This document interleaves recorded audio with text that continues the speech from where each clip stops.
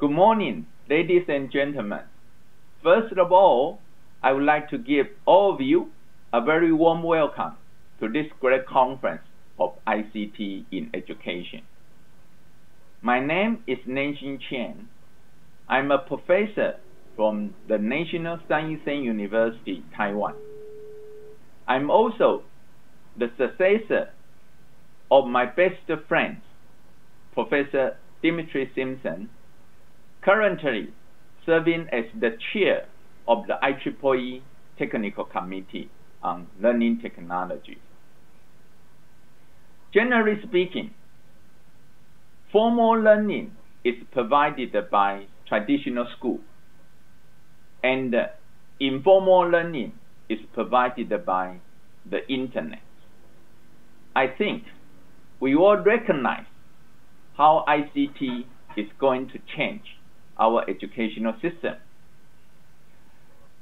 The traditional schooling is facing a great challenge of losing students day by day.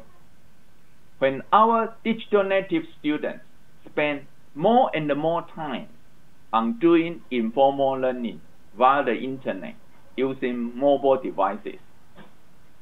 This implies they will have less and less time doing formal learning, which is the core business of any traditional school.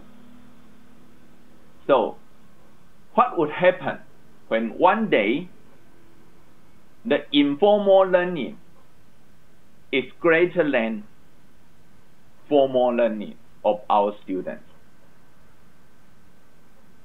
I'm amazed to know this conference has over 800 participants.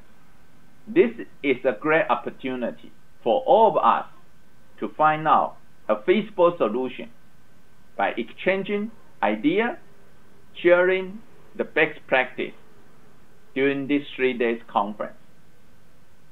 On behalf of the IEEE Technical Committee on Learning Technology, I would like to wish all of you a very fruitful conference and enjoy the lovely city of Athens. Thank you.